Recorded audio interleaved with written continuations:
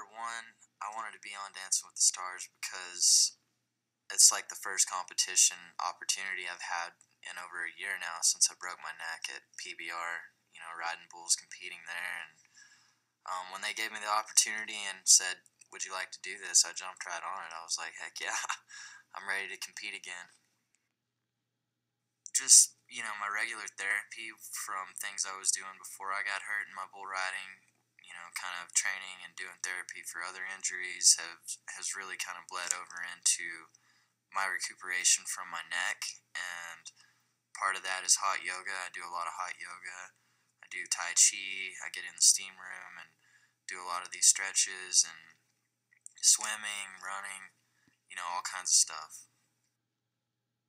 I think I am yet to find out what Bonner brings to this competition, but uh, in getting to know him and getting to know his story, I know he's highly competitive, incredibly determined, uh, and the fact that you do hot yoga and Tai Chi, I mean, that just means that you're very aware of your body and you know how to move. Yeah. Are you flexible? I am. I'm pretty flexible, especially for a guy who broke his neck. He's flexible. Ago, so. This is amazing. I feel like he's going to have some dance moves. Actually, Bonner tells me that he's really good down at the honky tonks, and I am yet to find out what that means. But I, uh, I'm excited for him to show me his dance moves. I can do a little boot scoot boogie.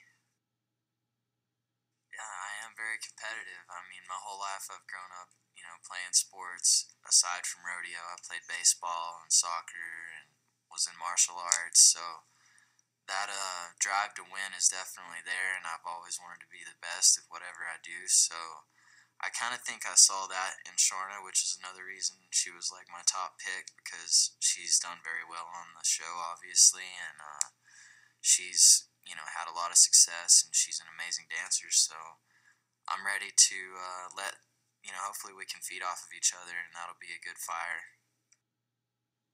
Um, I'm used to live TV uh, competition for PBR. What I was doing in pro bull riding, you know, that's all live filmed and um, I've dealt with a lot of pressure under thousands and thousands of fans before. Um, you know, not a young rookie at competing under those circumstances. So I think that gives me a little edge in a way for this show.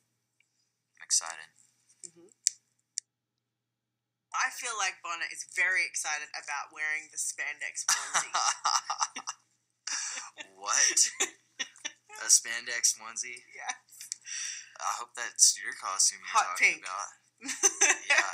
I would never put you in a spandex onesie, just, just I- so we're. You know, I've kind of gotten an overview of like what we're wearing, and I think it's gonna be all right. You know, I'm a little iffy on some things, but don't want to be dubbed as the rhinestone cowboy out there for sure.